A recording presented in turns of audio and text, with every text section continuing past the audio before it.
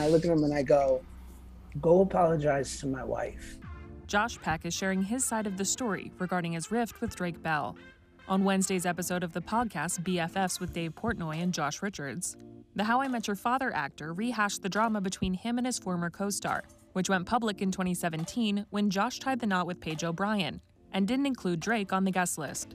The Ultimate Spider Man voice actor notably tweeted about missing out, writing in a scintillated message that their ties were, quote, officially cut.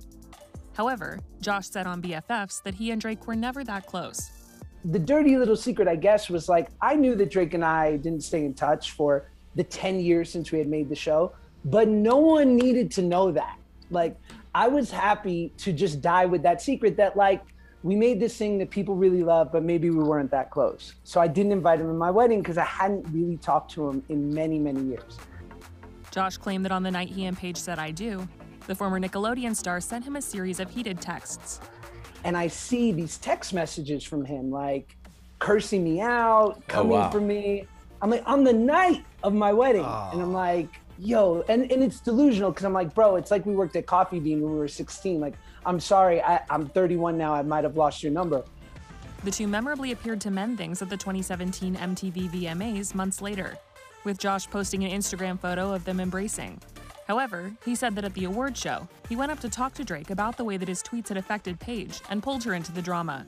And I go up to him, like, and this might be the most Sopranos thing I've ever done. And I look at him and I go, go apologize to my wife right now.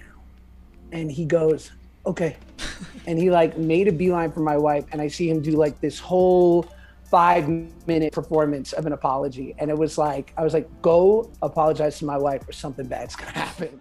Josh's take on the VMAs encounter seemed to be different than Drake's, who cryptically reacted to his former co star's claims on Instagram on Thursday. He posted a photo of himself as the Amanda Show character Tony Pajamas on his Instagram stories, alongside Josh's quote about their run in, and wrote in part, Hey, AJ Soprano, too bad this interaction is on film. Drake's wife Janet also spoke out about the situation in a since deleted Instagram story, saying she was there as their interaction went down. She claimed in part, per E! News, Drake was never threatened by Josh, like ever. That's actually hilarious that he would act like he could be the tough guy.